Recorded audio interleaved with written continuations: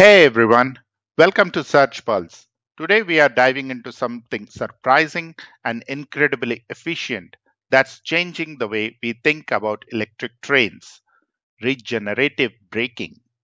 Now I know what you are thinking braking? Isn't that just slowing down? Well, hold tight because things are about to get electrifying. So, what exactly is regenerative braking? Simply put, it's a technology that allows electric trains to recover energy while they brake. When the train slows down, instead of wasting energy as heat in the mechanical brakes, the traction induction motor reverses its function. Rather than consuming electricity, it generates it. This energy is then fed back into the catenary system or stored in the locomotive battery system for future use. Let's break it down a bit. First, we have the traction induction motor, which drives the train forward. When the driver applies the brake, the electric power that normally flows into the motor gets reversed. This causes the motor to act like a generator. This generated energy then flows back to the train's energy storage system or the catenary wire, where it can be used to power other trains or systems. Now let's try to understand the engineering by learning more about the four quadrant operation of the traction motor during regenerative braking and how the converter system behaves in all those four quadrant operation. When the electric locomotive starts moving in the forward direction, the torque applied is positive and the rotation of the rotor shaft is also positive, which is the motoring mode. This is when the motor is operating in the first quadrant. During this condition, the three-phase inverter of the propulsion system provides power to the electric motor to propel forward. This is forward motoring mode.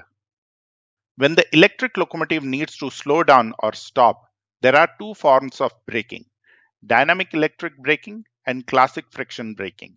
In order to slow down the train, the electric braking will be used and to bring the train to a complete halt, the classic pneumatic brakes will be deployed. When the regenerative braking is used to decelerate the train, input power supply is stopped by turning off the inverters. At that instant, there is enough momentum in the train to continue to move forward. In terms of rotor of the motor, the torque is negative since the train is decelerating, but the rotation is positive. In this situation, the rotor flux speed is greater than the stator flux speed, which is the generating mode. This is when the motor is operating in the second quadrant. In this situation, the thyristor or the IGBTs in the inverters are turned on a sequence that they operate like a rectifier circuit. This is regenerative braking mode. When the electric locomotive needs to move in the reverse direction, the torque applied is negative and the rotation of the rotor shaft is also negative. This is also motoring but in the reverse direction. This is when the motor is operating in the third quadrant. During this condition, the three-phase inverter of the propulsion system will have one of the phases energized later than other two phases, thus changing the sequence of the three-phase supply and thus achieving the reverse torque. This is reverse motoring mode.